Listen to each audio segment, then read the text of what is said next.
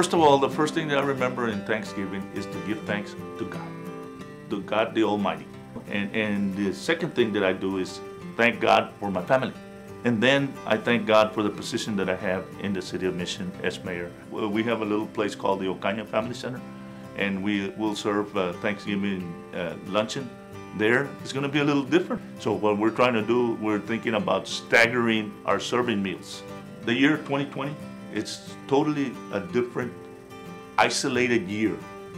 My condolences to all families, all the families that has lost a person or persons due to COVID-19.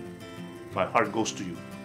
The message for people on Thanksgiving is that, that you need to take and self-reflect and thank the Lord.